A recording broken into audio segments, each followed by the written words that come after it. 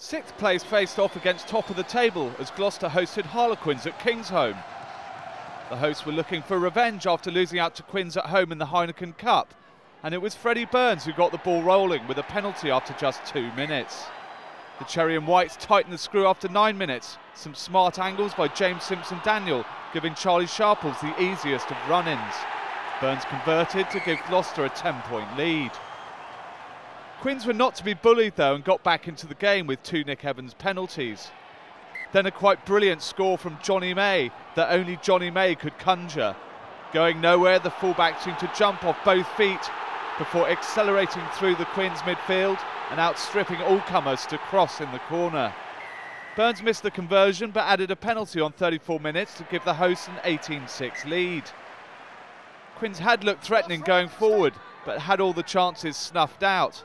But just before half-time, a perfect Nick Evans grubber was collected by Ross Chisholm to score under the post.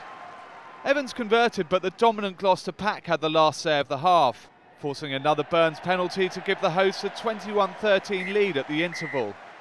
Evans and Burns traded penalties after the break, but the Cherry and Whites all but sealed it when Akapusi Qera was put in by Ryan Mills to extend the lead to 29-16. With the shackles off, both sides threw the ball about with Gloucester after the try bonus point and Quins the losing bonus point. Neither side could break through until the final minute when Chisholm ran the length to set up Evans for the bonus point. The reliable Kiwi nailed the conversion, which included his 1000th point in Quins colours and what could turn out to be a very precious bonus point. Final score at Kingsholm, Gloucester 29, Harlequins 23.